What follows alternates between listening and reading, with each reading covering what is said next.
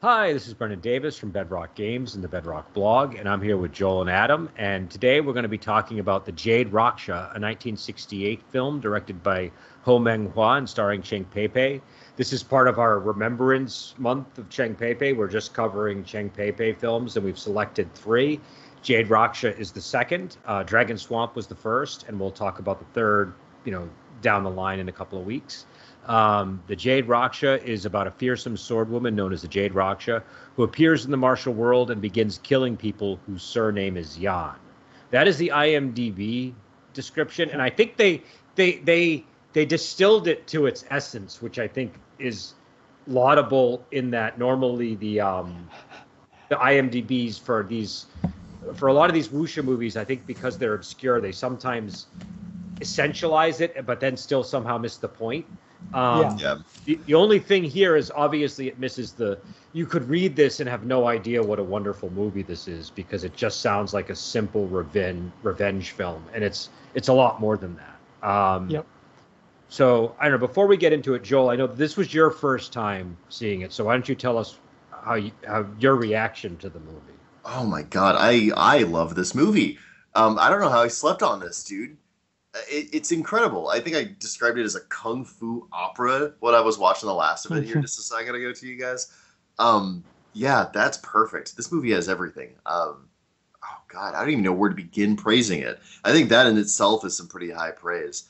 Um, okay, so the story is really solid and beyond being solid, it's told in this really interesting way where you're constantly getting a drip feed of new, incredibly dramatic information that consistently makes you reevaluate the situation along with the characters. So you're really along for the ride in this huge roller coaster um, of, of all kinds of emotions. So um, there's um we'll, we'll get to the scene, uh, which I think you guys know what scene I'm talking about. Where I I set up my it's like, oh my god, this this is exactly what I didn't know that I needed. Um, but yeah, that scene completely changes your evaluation of everything that's happening in the film. Um, and it happens a couple times. That is like the first one; it's a huge impact. The performances are stellar, and I, and I mean like every performance in this film is memorable, and and it really it rings with its own like note. It's gorgeous. The score is really good, which I'm not used to with these kind of films. Usually, they- they're sort of they're not bad. They're they're pretty they're they're serviceable. Yeah, they're a little placeholder, a little John Carpentery. That's right, John Carpenter. I'm gonna get a dig in you at you. Um, no, I just got I just purchased Escape from New York and I watched it for the first time recently, and I was Uh-huh. struck by how John Carpenter the score was about it. But that's not it's a great movie, by the way. Go watch Escape from New York. Uh, Yeah. But uh, I, I'm I'm I, don't- I'm not just here to dunk on John Carter's inability to score a movie. I'm also here to praise this movie's ability to score itself. The cinematography was was breathtaking in some places. Like I actually had to pause the film. It took me a little longer to watch it than I should have, just because I was like pausing to just be like, this is like a painting. So yeah, and I've not even scratched the surface. Like, do this is a think- movie I've got to own. I do think that some of the music, I could be wrong because I didn't go and check this, but I believe some of the music was snippets of Morricone. I could be wrong, but Oh, really? um, I think so. It sounds a, a lot of these movies, but I mean, I, if you're gonna borrow from somebody, Yeah, might as borrow well from borrow, him. you know, it, it's it's it's probably the most fitting music for the genre. Chang Cheh does it all the time. Um, I could be wrong because it's just a handful of notes, but I feel like it came from like. Uh, you could describe some of Morricone's career in he did so much with a handful of notes, though. yeah, Like, yeah, if any Yeah. can, anyone, I, I would I would give it to him. You know, And I- me- and I could be five wrong. notes. I could be wrong because I, ju- I just said, oh, I think that's from, but I didn't actually bother to go and compare them or anything like that. Um, Ooh, that doesn't diminish it for me though. That actually kind of makes me No, respect it more. I, I think that Um, I think I was actually thinking about this today. I was thinking about like in my head if I were to do like a movie soundtrack lifting music from other sources, how I would do it. And there's an art I think to That's what to- to Tarantino does. I No, he that's does- that's no, does that's that's yeah. He just pulls out fantastic music that's already been created, puts it in his movie. well, right, and and boom. No, that- we- well, that's what I, I'm was not- thinking of. That, that- yeah, exactly. It's thought. if you're Um, gonna sample, man, sample from someone like that. You know, Yeah. the Wu Tang Clan did that to great effect, and I mean, I wonder where they got their name. So, yeah. But yeah, I Uh, Adam, I, I don't know if you've talked about this movie either before either. So did you have any thoughts? I don't on think I've talked act- about it. I s- yeah, I, I got this movie maybe a year ago and I watched it at the time and I loved it and I haven't talked to anyone. So I've been well, as soon as we brought up doing Chang Pei Pei, it was like let's do Jade Raksha every time we bring it up. Let's do Jade Raksha. and yeah, and I mean, you know, as uh, as Joel says, this movie there's there's a lot going on, but it's never convoluted. Like the slow drip comment Yeah. Joel made is perfect. It's like it you you get something, you get interested, then it feeds you the next thing. Yeah. You're never lost or confused because sometimes sometimes wuxia movies can kind of get to that point where there's so much going on, but it is methodical in the way it Yeah. pulls out the plot points. I, I don't think I've ever been confused by a Ho Meng Hua storyline. He's really good at making clear, functional, deep storytelling. Um, Yep. Yeah, my, my, my reaction to it, I, I, I was looking for this movie for ages because I knew about it, but it Yep. wasn't available on DVD. And eventually, some years ago now, I tracked it down on um, on VCD and I watched it on VCD. But as you can probably imagine, I had no idea what it looked like. I didn't know the beauty of it because I saw it on this really crappy, low res, tiny sort of screen. And um, the storytelling was great. I liked the movie, but then it wasn't till that Shout Factory box Yeah. set came that I was able to see it for like in its totality. And it's it's Yeah. a I- I- again it's it's a it's it's a really uh, as Joel said, it's very dramatic. It it had, it makes excellent use of this backstory that you kind of keep getting more information about. It's filled with melodrama and this interesting take on revenge. That's kind of an old theme, but the way that he handles it here, and obviously this is '68, so you know, it's maybe Wow, not this was quite as old. but Yeah, um, you know, but Yeah. the way that he handles sort of the cycle of revenge as an idea is so beautiful. Like, like a lot of movies do that, but this movie really hammers home that you know like what that means. Um, and also just the characters, just like the, the love triangle. It's got everything that you want in a wuxia movie, but it doesn't feel kitchen sink. It feels like everything belongs. Um, Yeah, no, it's it's beautifully arrayed and blended in this artistic way. So yeah, it, it's a big movie, both conceptually and it's. A, I think it's not so much big, although the scope is pretty impressive. It's deep, right? Yeah. And it, it's deep in a way where you can see it from the surface. Like I, I remember going to, to uh, Jacob's Cave back when I lived in Missouri, and they have this this part where there's this like crystal on the floor that's under a small amount of water. And when you look down there, you can see like not only like can you see this incredible actual physical depth of like clear crystal and like the rock formations under, but you are also looking back in time because this was created by this sediment that happened over centuries. That's what it's like watching this film. yeah, yeah. It's a work of absolute beauty. Yeah, I agree with that. It's I guess it's like the iceberg theory, but the iceberg is not hidden by the waves. You can see the yeah, yeah. It's the cross section iceberg. Um, and now I know you wanted to talk about the landscape. Speaking of icebergs, I like- I this like the movie has no actual icebergs. Um, what, what was what was it you observed about the landscapes that made you want to talk about? Well, it, the film keeps doing. I, I'm, I'm a big Kubrick fan, so I always notice a long shot when it comes into a movie. Uh, and it's very common to do like this this broad Dutch angle in uh, wuxia films. So you kind of get to you have these intimate things where you have people like that are sitting at a tea house talking. This cross reverse, uh, this is the shot reverse shot where the, like you're cutting back between people. And the other really classic one you see a lot is that Dutch angle where you can kind of see this whole uh, soundstage and they fight in it. And tea house fights are really like they're very common in wuxia Yeah. films. So I'm very used to seeing that and when I see it, it's so common. It's it's such a, a simple way to direct something, and it's so you it's used so much. That it's kind of invisible to me. I don't really notice the cinematography. Hmm. But this movie kept catching my attention visually, which is a little rare for this because Okay. it would just kind of it would go outside, which is a little unusual, and it would just pull back in these huge scopes where you Yeah. could see this gigantic amount of the scenery. And it didn't really lose the plot as far as what was happening. These a lot of these were action scenes, or they were like dramatic scenes, like when they're on the bridge the first time and the last, where they're pulling back and you see the mountains in the background. It's the scope of it's really impressive, and it's beautiful. Like the structure of the shot itself is worth looking at, like it's a painting.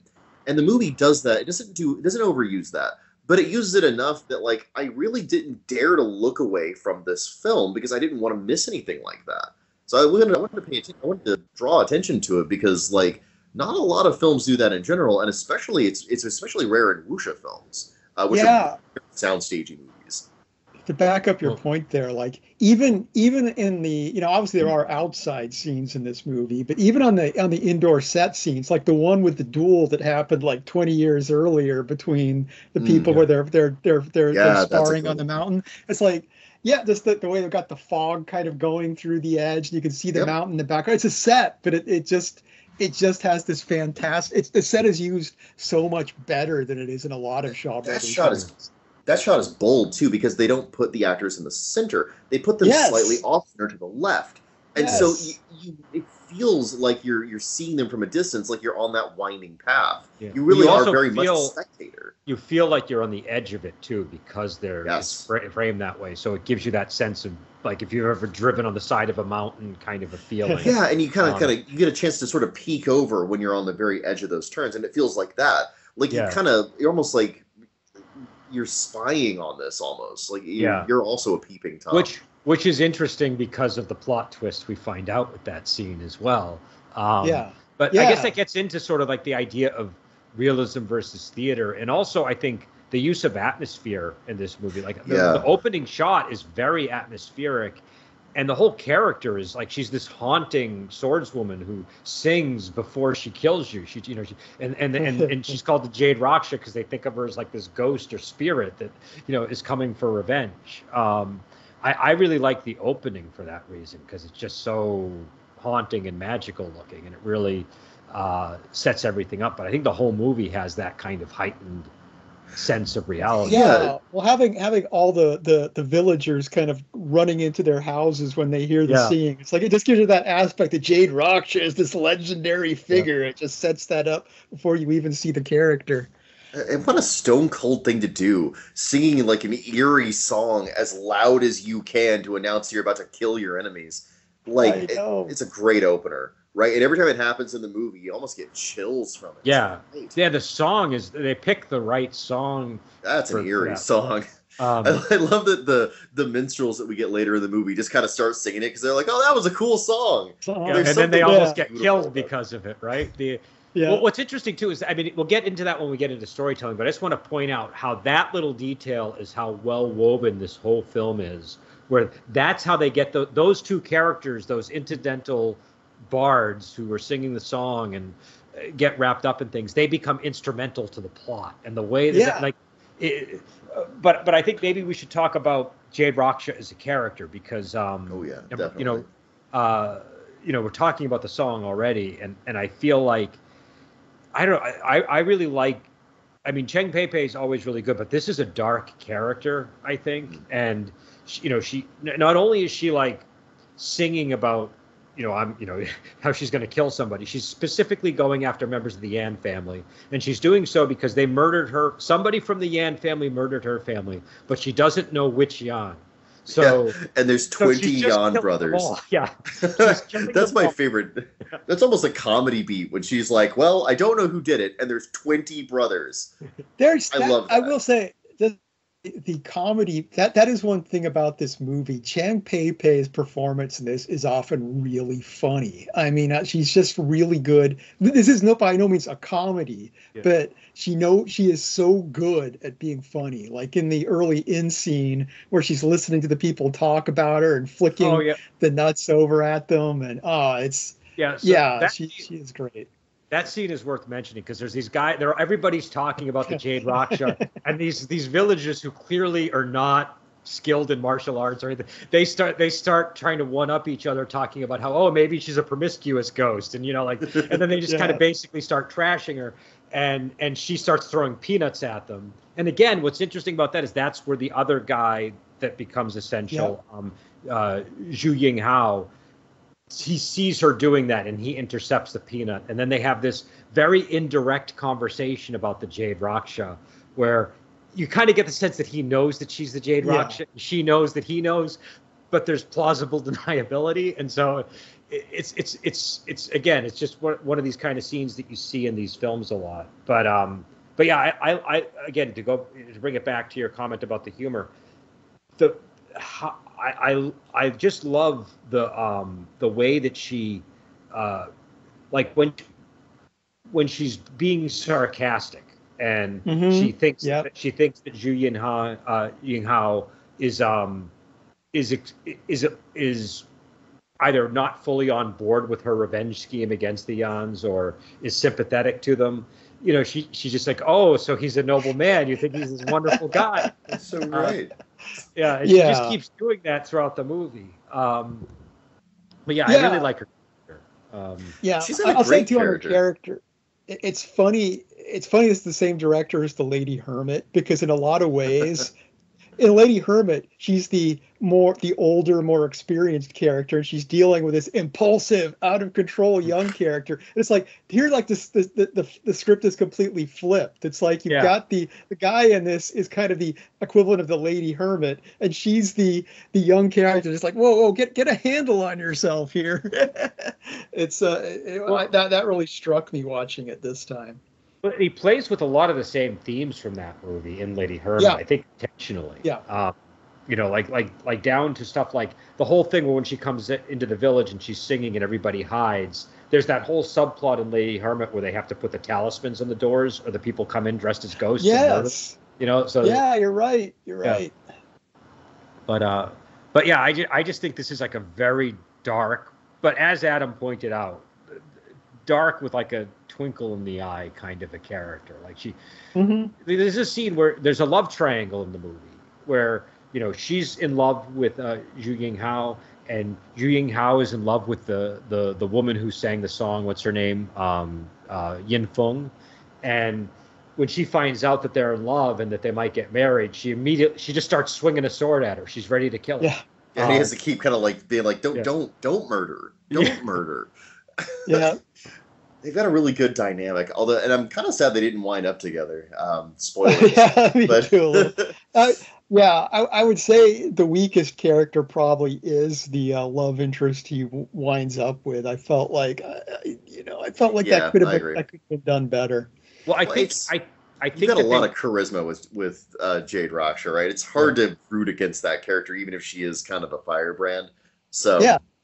Yeah, I, I think you're supposed to, in a way, kind of root for her having him in the end, and and wondering why he's going with you know Ying Feng, who's so vanilla in comparison, right? Like it's just, I mean, she's obviously, but obviously, what he doesn't want somebody like Jade Raksha. That's Uh, kind uh, of the yeah, exactly. Um, exactly. you know, but but it's it frustrates you as a viewer that they don't end up. um, Yeah, but I mean that's kind of part of the beauty of this movie. You know, I don't want everything Yeah. that I want. I want to be denied a little bit.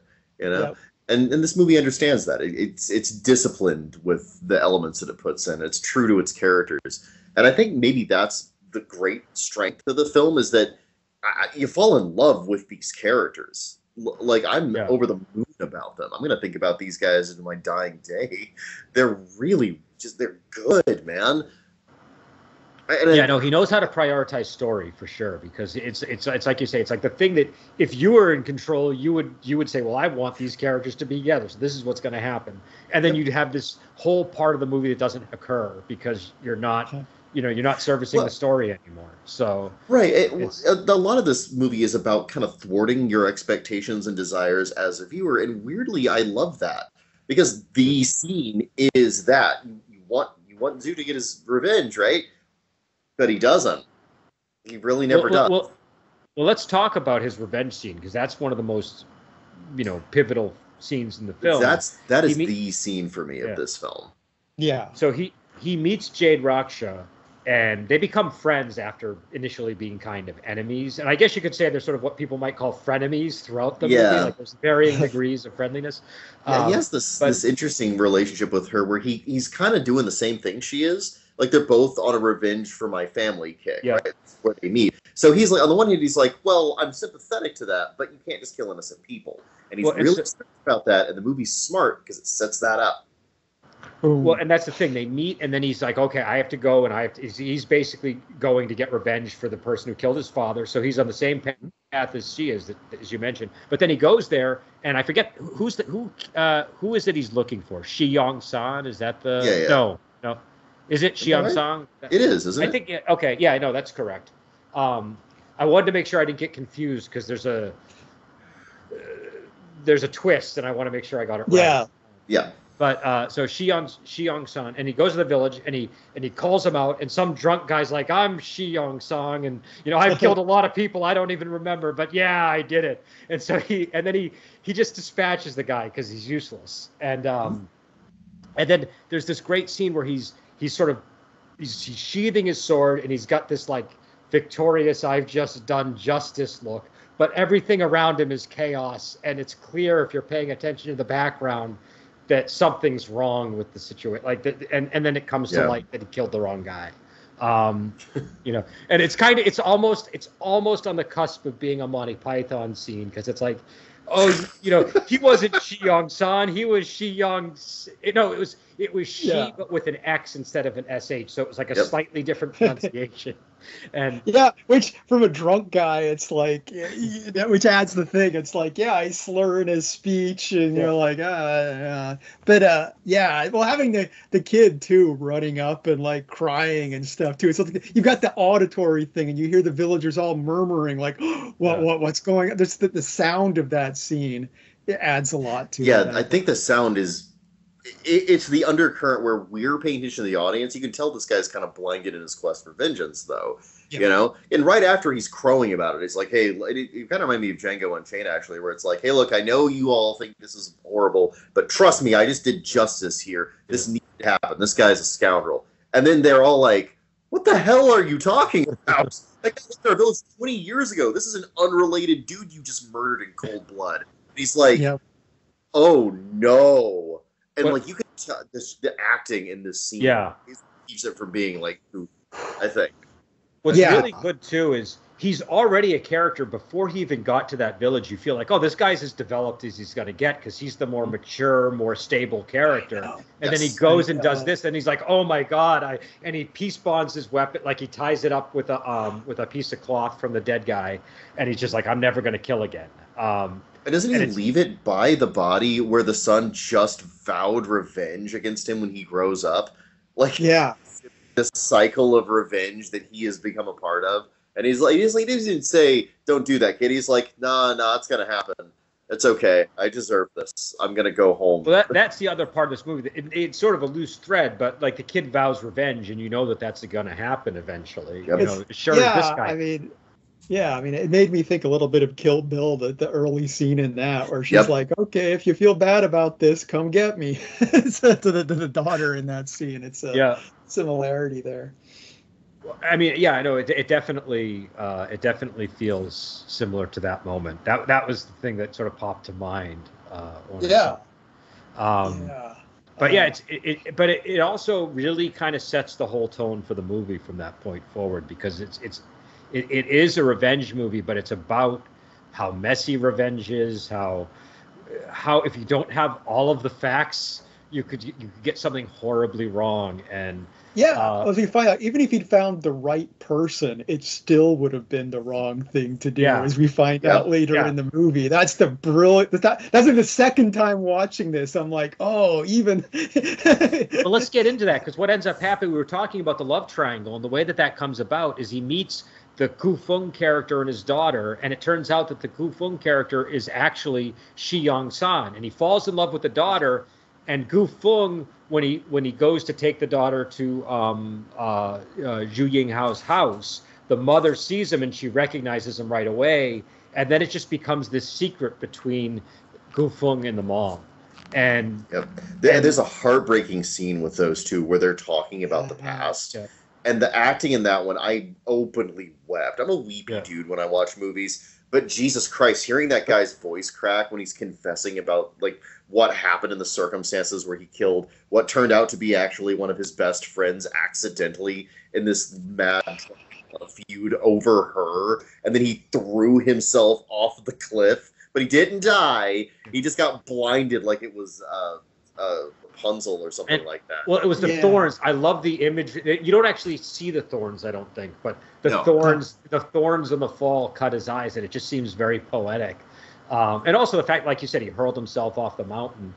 It's it's a very moving scene. I agree. I think him, Gu Well, Feng, and the woman. His um, delivery is what makes that. Just, Yeah, just his Man plea Sao. too. His plea that you know, it's like I, I just want my daughter to be happy and marry your son. Do we have to? Do we Yeah. have to ruin this? It's- you can kill me. That's fine. Go ahead and kill me. But Yeah, he even offers that. He's like, "Yeah, no, go ahead and kill me. I'm worthless, but let let's let the Yeah. kids live. We got to think about them." yeah, And then, the, then yeah. the final twist that Adam alluded to, which is that it wasn't even him that did like he the, the, he, he killed the Yep. father on his sword, but it was because this other scheming character, who's the main villain of the of the film, the the Yan that she's actually seeking, um, which again it shows how everything just kind of all wraps together in the end. He he he had a vendetta against uh, Zhu Yinghao's father, and he kicked. He was hiding in a bush, and he kicked him into the sword or pushed him into the sword, and and so and then I guess and and then the reason that he murdered Cheng Pei Pei's parents is because her father witnessed the events and then ran Yep. home. And He so he go goes and he kills the whole family, Yeah. inadvertently sparing her. Which, by the way, that's kind of a brutal scene too, because you see the beginning of the slaughter, and it's it's the father at the door getting the swords thrust through him, and the camera kind of pans over as he's killing the mom, but it's panning over to her, the younger sister, and her older brother, who's like maybe a year older than her, just like in Yeah. the corner. yeah. So you're like, Jesus Christ, that's brutal, man. Yeah, No wonder Yeah. she's so messed up.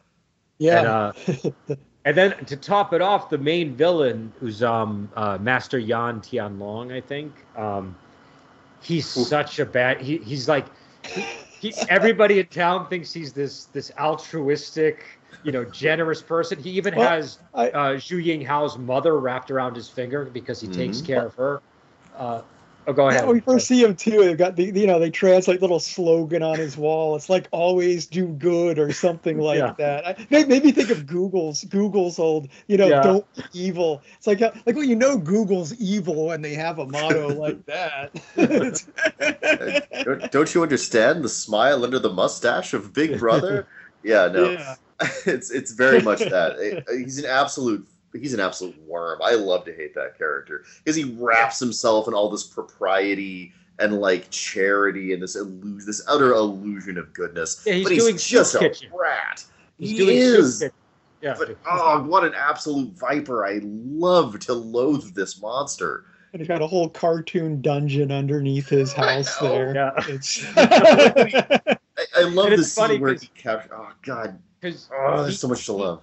He cure he helps cure Zhu Yinghao's mother, who's ailing while Zhu Yinghao is away. The reason he does it is because he knows Zhu Yinghao is a skilled martial artist, and he's gonna he wants to use his talents He's moving his little chess Yeah. pieces around. Uh, yeah. but but it takes Zhu Yinghao a long time to realize how nefarious he is, and at one point he discovers the dungeon. And he's still not fully convinced because he gets this like half-baked explanation uh, from Yeah. Master Yan. Who's like, "Oh, you know, back in the day, it used to be a war-torn country, and my yeah, I love that. had to have all these traps, to, and he's like, but I forgot about them, even though I it was the I first thing I inherited used. that Yeah. dungeon. I didn't build that to torture my enemies or anything. And it's Despite it's the like fact I it's, have modern guillotines in there, it's no, it's nothing. it's the most cartoonish of. car- It's got like all these gears and guillotines. Oh, I know. It, that's such a wacky dungeon. And again, in a lesser film, it would be comedy, right? Or it would at least be kind of goofy as an element. But I don't know. They managed to make it genuinely menacing. Probably Yeah. because the first time you see it, he's ruthlessly murdering and dispatching useless Yeah. minions in it. They even like have this great uh, shot where a guy's they, they, guillotine a guy's hands and head. Yeah. and they go Yeah. flying off Yeah, and blood sprays out. It's great. You're used to seeing the head get decapitated in a guillotine, but not the hands and the Yeah. head. That's the part that really, you know, There's adds the exclamation point to that scene. Well, you can Uh, tell it, it reveals something truly sadistic and cruel at the core of this guy, and you see that again when he captures Jade Raksha and he's talking about cutting into a million pieces. Like it's not a little thing he does in this dungeon. This is where his soul resides. yeah. Yeah, yeah, Yeah. that's that's that's him. That's And him. what a great And metaphor see- for the character too, right? There's this horrible death Yeah. in the dungeon underneath this beautiful palace. Yeah. It's like virtue Yeah. is great. Oh my! I didn't even think about it as a metaphor. and he's got this despicable little son who's just like a, Oh, a rat. Just, just what a an urchin he is. Yeah. I know. Even the Uh, scene where he like just has a friendly duel with uh, Zhu Ying Hao. You know, Oh, with- yeah. and he's and you can just tell he just like gleefully just wants to hurt the guy, and he doesn't understand how outmatched he is. Um, Yep. And as soon as it's revealed to him, he storms off in a Yeah. huff. Oh god. And he like he doesn't like out loud swear some kind of blood debt against him, but he's constantly worming his way Yeah. undermining him Yeah. after that. I mean, it's yeah. 'cause the thing is, it's like okay, your father's brought in this guy who's a master kung fu guy to train you, and you're just resentful that he's better than you. It's like you know, and he and he said, "Oh, fantastic! I've got someone who's going to teach me awesome kung fu." It's like no, I, I, I he, he he just can't even be on that level. It's like he has to be the best, even though he's yeah, just a, just a yeah. He doesn't even appreciate the fact that he's got this great teacher that's going. Yeah. To, yeah, it's it's it's definitely the case with him. He's he's he's incapable of understanding that because it's all ego. Um, but which again probably you know is should be a sign to everybody that maybe the father isn't as virtuous as he as he seems. Um, but the other thing too about this movie is the ending, which again uh, connects very clearly to Lady Hermit. Like that's definitely something that you see in Lady Yeah. Hermit. at the end of that. Yeah, But the I love the fact that like you know uh, the the the bad guy kidnaps his mother and and the Y- uh, Yin Feng character, um, his his his wife to be. Uh, and we won't get into you know there's a whole interesting story of how that happens, but we won't necessarily need to dive into that. and and he has to go to the Jade Raksha to ask for her help, and she's like, "Well, okay, I'll help you, but what am I going to get out of it?" And and so she's like, "Okay, if you agree to like uh, to never see Yin Feng again, and you agree to marry me, I'll go." I gotta get all of it. and and the thing is, again, I think we're kind of rooting for her. We're like, okay, you know what? I think it's better that he ends up with her anyway. So you know, uh, you know, Yeah, no, Um, I I 100% wanted that. I know that there is some element where he didn't want that to happen, but dude, think about me. I want it to happen. yeah. This isn't about you anymore. Well, it seems like they're a better match. You're like, how is a guy like Zhu Yinghao not going to get bored with Yin Feng in the first 20 minutes of that? rela- You know what I mean? Like, uh, the Jade Raksha can challenge him and keep him interested. You know that that's sort it's of better for his balance of chi. I'm, t- I'm telling you, man, you're gonna you're gonna ruin your cultivation, dude. but but then at the end she ultimately you know decides to do the right thing and she she ends up peace bonding her weapon and giving it to them as as uh, I guess a token or a wedding gift because she says I can't. Well, um, earlier in the film, she says that like, hey, look, if you kill this guy, I'll live a life of peace like you Yeah. want me to, you know, and that that's not exactly what transpires. I do think that she winds up killing him. I I was talking to you guys while I was watching the climactic finale of this film. I think she cuts him up with the sword really bad in the last scene. Which, by the she way, does. She does. She it's a Yeah, it- spectacular final death scene too. Yeah, I, I loved watching like it's theater blood, right? It's really bright red and kind of unrealistic, but it's the guy it's combined with the guy's acting. It's one of the most impactful scenes in the film Yeah. because, and I love that he's clearly outmatched even in his initial little clash with her. He actually spends most of that fight scene running away, and they Yeah. finally get to the point where they're at the very very end. They're they're in like a swamp or something in an old abandoned temple, and they finally have just their showdown and she's not toying with him, but she's definitely on another level. So Yeah. she hits him and doesn't kill him like seven or eight times, and he's just getting more and more mutilated and bloody.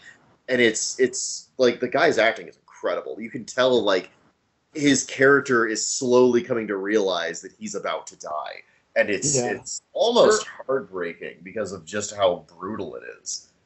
Yeah, her. I, I love also just how indignant she looks in a lot of these scenes, and the, Yeah. the expression I always like with Cheng Pei Pei, she widens her eyes, almost like how a boxer widens their eye. You know, like like they train.